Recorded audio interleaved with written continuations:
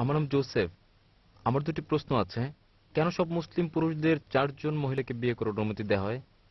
এবং দ্বিতীয়টি হচ্ছে কীভাবে আপনি প্রমাণ করতে পারেন যে যিশুকে শুলে চড়ানো হয়নি? ভাই দুটো প্রশ্ন করলেন আপনি কি খ্রিস্টান? হ্যাঁ। ভাই দুটো প্রশ্ন করলেন যে কেন ইসলাম পুরুষদের অনুমতি দেয় চারজন পর্যন্ত স্ত্রী গ্রহণ করা? কেন ইসলাম পুরুষদের একের অধিক স্ত্রী গ্রহণের অনুমতি দেয়? এবং দ্বিতীয় প্রশ্ন কীভাবে আপনি প্রমাণ করবেন যে যীশু খ্রিস্টকে তারপর শান্তি পরিচিত ক্রুশে চড়ানো হয়নি? দেখেন, কোরআন হচ্ছে পৃথিবীর বুকে একমাত্র ধর্মগ্রন্থ যাতে বলা হয়েছে, মাত্র একটি বিয়ে করো। আপনি বাইবেল পড়েন, রামায়ণ পড়েন, মহাভারত পড়েন, আপনি বেদ পড়েন, পৃথিবীর কোনো ধর্মগ্রন্থে বলা হয়নি, কেবল একটি বিয়ে করো শুধুমাত্র কোরআন ছাড়া। যদি আপনি পড়েন রামায়ণ, হিন্দু ধর্মগ্রন্থ, শ্রীরামের পিতা, তার একের অধিক স্ত্রী ছিল। যদি আপনি মহাভারত পড়েন, শ্রীকৃষ্ণ, তার কতজন স্ত্রী ছিল? চার, দশ, এক হাজার, দশ হাজার, তার ছিল ষোলো হাজার একশো জন স্ত্রী। তাহলে শ্রীকৃষ্ণের ষোলো হাজার একশো আটজন স্ত্রী থাকতে পারলে মুসলিমদের সর্বোচ্চ চারজন থাকতে পারবে না কেন? আপনি যদি পড়েন ওল্ড টেস্টামেন্ট, এতে বলা হয়েছে যে সুলেমানের তার উপর শান্তি পরিষিত হোক সাতশো জন স্ত্রী ছিল, ইব্রাহিমের তার উপর শান্তি পরিষিত হোক তিনজন স্ত্রী ছিল। তাহলে ওল্ড টেস্টামেন্ট বলছে আপনি যত খুশি বিয়ে করতে পারেন একই রকম বলা হয়েছে নিউ টেস্টামেন্টে যে আপনাকে ওল্ড টেস্টামেন্ট মানতে হবে। তাহলে হিন্দু ধর্ম, খ্রিস্ট ধর্ম, ইহুদি ধর্মে আপনি যত খুশি বিয়ে করতে পারেন। পরবর্তীতে যা হয়েছে, চার্চ বিধিনিষেধ আরোপ করেছে যে খ্রিস্টানরা মাত্র একটি বিয়ে করবে। এটা পরবর্তীতে রেবাই গরসাম্বান ইয়াহুদা একটা আইন জারি করেন এবং বলেন, ইহুদিরা কেবল একটি বিয়ে করবে। অন্যথায় আগে তারা বিয়ে করত যার যত খুশি। এটা হচ্ছে ইন্ডিয়ান পেনাল কোড ভারতে উনিশশো চুয়ান্ন সালে একটি আইন জারি করে হিন্দু বিশেষ বিবাহ আইন আওতায় হিন্দুদের মাত্র একটি বিয়ে করা উচিত। কিন্তু ধর্মগ্রন্থে কোনো বাধা নেই। আসুন আমরা বিশ্লেষণ করি, কোরআন কি বলছে? কোরআনে বলা হয়েছে সুরান নিসা, অধ্যায় চার, আয়াত নাম্বার তিনে, তোমাদের পছন্দের নারীদের বিয়ে করো। দুই, তিন বা চারজনকে তবে ন্যায় বিচার করতে না পারলে মাত্র একটি বিয়ে করো। এই যে উক্তি, তবে ন্যায় বিচার করতে না পারলে একটি বিয়ে করো, শুধুমাত্র কোরআনে বলা হয়েছে, অন্য কোনো ধর্মগ্রন্থে নয়। আমরা বিশ্লেষণ করি যে কেন কোরআন অনুমতি দেয় মুসলিম পুরুষদের একাধিক নারীকে বিয়ে করতে। সর্বাধিক চার। কারণ হচ্ছে প্রকৃতিগতভাবে পুরুষ এবং নারী সমানুপাতে জন্ম নেয়। কিন্তু যদি আপনি কোনো শিশু বিশেষজ্ঞকে জিজ্ঞেস করেন, তিনি আপনাকে বলবেন যিনি শিশুদের ডাক্তার, যে মেয়ে শিশুরা ছেলে শিশুদের চেয়ে শক্তিশালী জীবাণু ও রোগের বিরুদ্ধে লড়াইয়ের ক্ষেত্রে, তাই ছেলে শিশুদের মধ্যে মৃত্যুর হার বেশি মেয়ে শিশুদের তুলনায়। তাহলে শিশু বয়সেই মেয়ে শিশুর সংখ্যা ছেলে শিশুর চেয়ে বেশি। জীবন চলার পথে যুদ্ধের কারণে মৃত্যু হয়, মদপানে মৃত্যু হয়, মাদকাসক্তিতে হয়, দুর্ঘটনায় হয়। এসব কারণে নারীর তুলনায় পুরুষেরা বেশি মারা যায়। তাই বর্তমান বিশ্বে পুরুষের চেয়ে নারীদের সংখ্যা বেশি। কয়েকটি দেশে, ভারত আর চীনের মতো নারী জনসংখ্যা পুরুষের চেয়ে কম কারণ মেয়ে ভ্রূণ হত্যা করা এবং মেয়ে শিশু হত্যা করা। ভারতে বিবিসির রিপোর্ট অনুযায়ী, প্রতিদিন এক হাজারের বেশি গর্ভপাতের ঘটনা ঘটে যখন জানা যায় যে শিশুটি মেয়ে।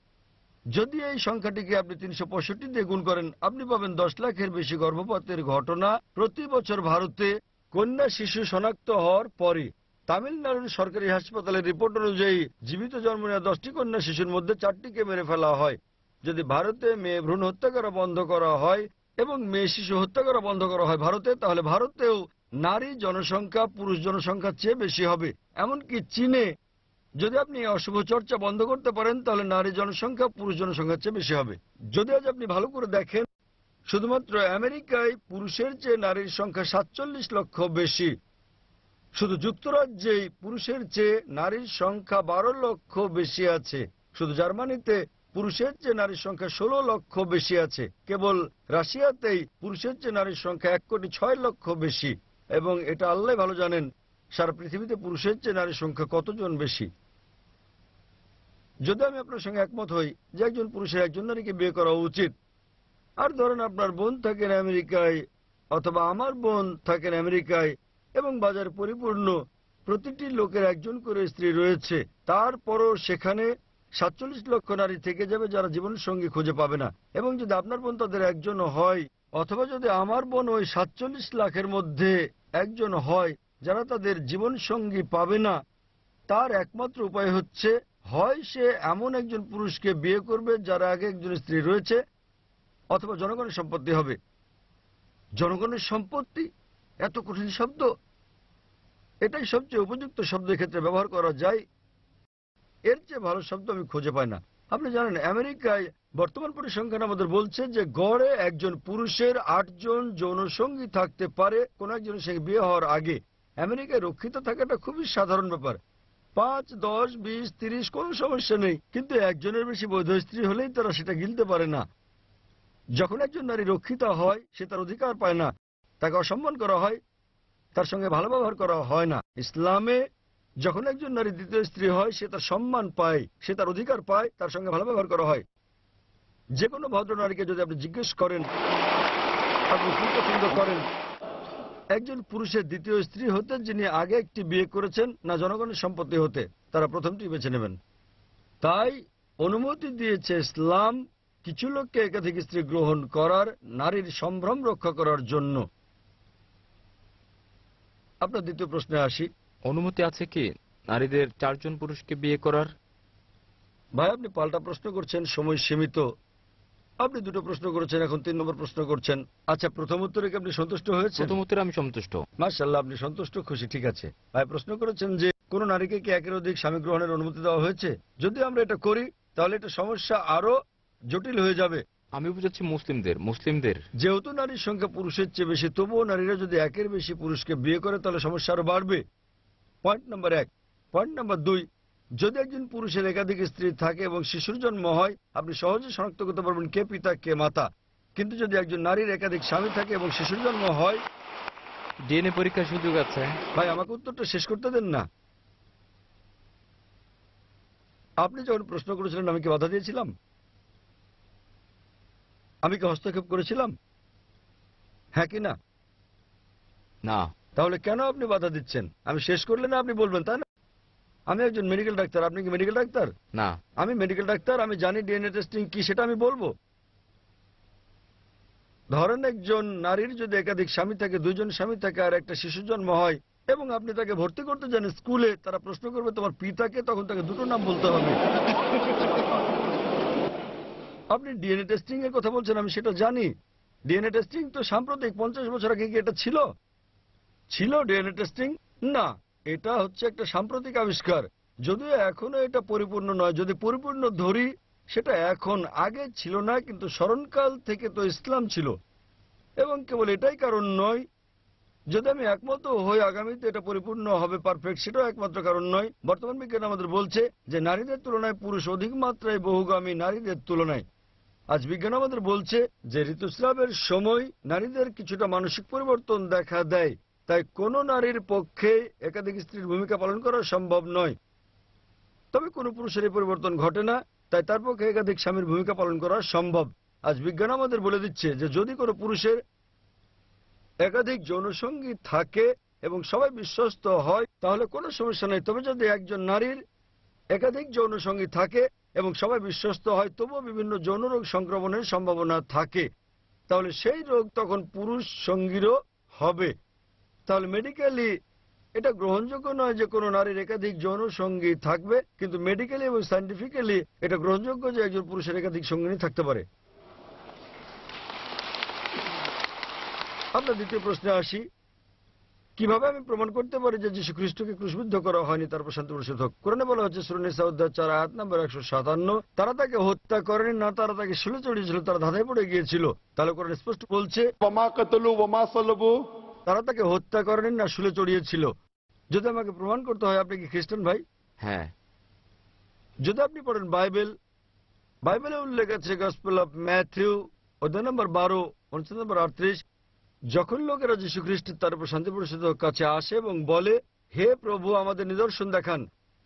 তখন যীশু খ্রিস্ট তার উপর শান্তি পরিষদক বলেন হে অশুভ এবং জেনাকারী প্রজন্ম একটি নিদর্শনের পর আরেকটি চাও কোন নিদর্শনই তোমাদের দেখানো হবে না জোনা নিদর্শন ছাড়া। যেভাবে জোনা তিন দিন এবং তিন রাত মাছের পেটে ছিলেন সেভাবে মানব সন্তান তিন দিন এবং তিন রাত মাটির নিচে থাকবে। ভাই আপনি কি জোনার গল্প জানেন? জোনা জোনা। হ্যাঁ জানি। আপনি জানেন সর্বশক্তিমান ঈশ্বর জোনাকে বলছেন যে নিনে ভাই যাও।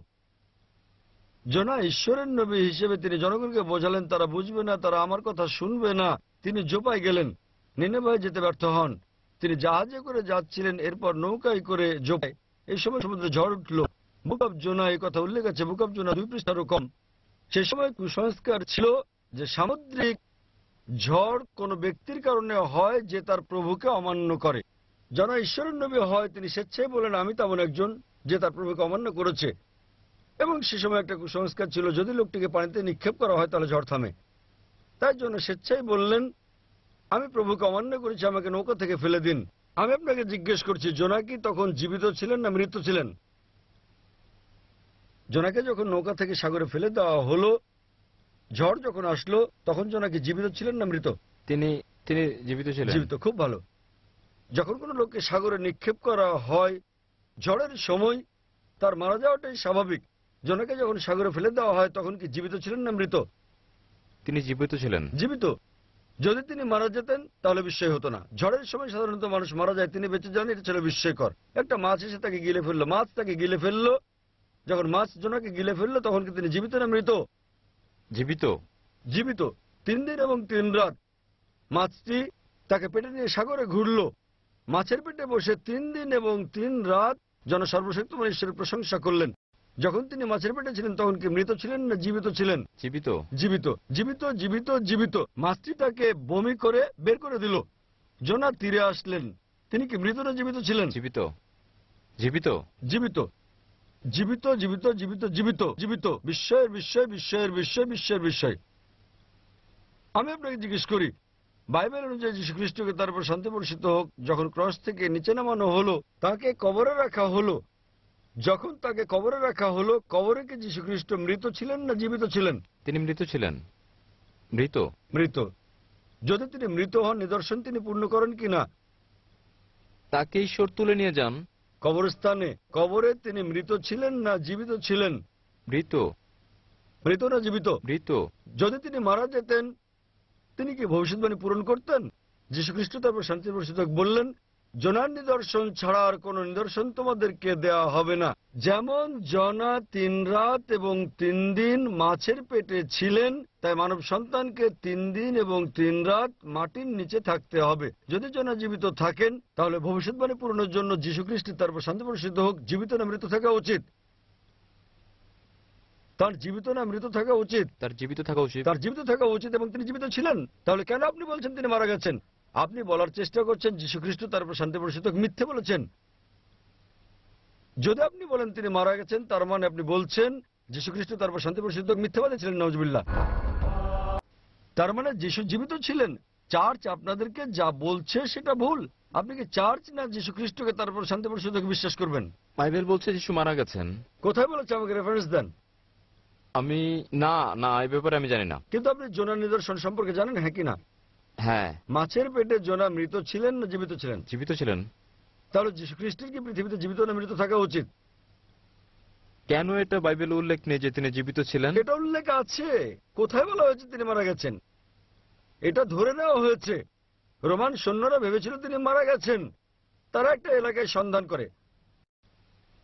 তারা সন্ধান করলেও তিনি জীবিত ছিলেন। তাই যদি আপনি দেখেন আমার ভিডিও ক্যাসেট, যীশু খ্রিস্ট কি সত্যি ক্রুশবিদ্ধ হয়েছিলেন? এখানে অনেক প্রমাণ রয়েছে। আমি আপনাকে এটা প্রমাণ দিচ্ছি। যীশু খ্রিস্ট তারপর শান্তি পরিষদ বলেননি, আপনারা জানেন আমি মৃতকে প্রাণ দিই, তাই আমি ঈশ্বরের একজন লোক। তিনি সব ডিমকে এক ঝুড়িতে রেখেছিলেন। জোনা জীবিত না মৃত প্রশ্নে? আপনি বললেন জোনা জীবিত ছিলেন, তারপর শান্তি পরিষদ তাহলে যীশু খ্রিস্টকে অবশ্যই জীবিত থাকতে হবে। কেন বলছেন তিনি মারা গেছেন? শুধুমাত্র যাজক বলেছেন তাই। তাহলে আপনি কি যাজককে বেশি বিশ্বাস করেন না বাইবেলে? আমি বাইবেলে বিশ্বাস করি। আপনি যীশু খ্রিস্টকে তারপর শান্তি পরিষদ বেশি বিশ্বাস করেন না যাজককে বেশি বিশ্বাস করেন? আমি যিশুকে বিশ্বাস করি। যীশু খ্রিস্ট তারপর শান্তি পরিষদ বলেছেন যেহেতু জনা ছিলেন মাছের পেটের ভেতরে তাই মানব সন্তানকে থাকতে হবে মাটির গভীরে। তাহলে জনা মৃত না জীবিত ছিলেন? জোনা জীবিত ছিলেন। যীশু খ্রিস্টকে তাহলে জীবিত থাকতে হবে জীবিত না মৃত? বাইবেল বলছে তিনি মারা গেছেন এবং জীবন ফিরে পেয়েছেন। বাইবেলে কোথায় বলা হয়েছে। আমাকে খুঁজতে হবে। তবে আমি আপনাকে বলছি গসপেল অব ম্যাথিউ অধ্যায় নম্বর বারো অনুচ্ছেদ নম্বর আটত্রিশ জনার নিদর্শন আপনি জানেন তো না? জানি। সে সময় তিনি মৃত না জীবিত ছিলেন। জীবিত ছিল যখন আপনি জানেন নিদর্শন এবং আপনি জানেন না কোথায় বলা হয়েছে তিনি মারা গেছেন আপনাকে মানতে হবে যা লালকালিতে লেখা আছে অনেক কিছু রয়েছে যা উল্লেখ করেছেন পল। যা যীশুখ্রিস্ট তারপর শান্তি পরিচিত হোকের উক্তির অংশ নয়। যদি আপনার জানা থাকে রেড লেটার বাইবেলের মতো কিছু আছে। রেড লেটার বাইবেল মানে যীশুখ্রিস্ট তারপর শান্তি পরিচিত হোক যা বলেছেন তা লালকালিতে লেখা।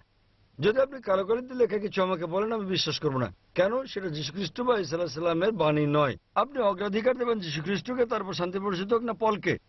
যীশু খ্রিস্টকে আমি আপনাকে যে উদ্ধৃতি দিচ্ছি লালকালিতে লেখা। গসপিল অফ ম্যাথু নোট করুন। গসপিল অফ ম্যাথিউ, অধ্যায় নম্বর বারো, অনুচ্ছেদ নম্বর আটত্রিশ। তাই আমাকে কালকালির লেখে কোনো উদ্ধৃতি দেবেন না। এই ভুল প্রমাণের জন্য আমাকে লাল কালিতে লেখা একটা উদ্ধৃতি দিতে হবে। অর্থাৎ যা যীশু খ্রিস্ট বা ইসলাম নিজে বলেছেন। আমি আপনাকে অনুরোধ করি, বাড়িতে যান। বাইবেল পড়েন এবং যখন আপনি বুঝতে পারবেন, ইনশাল্লাহ আপনি সত্য খুঁজে পাবেন। ধন্যবাদ।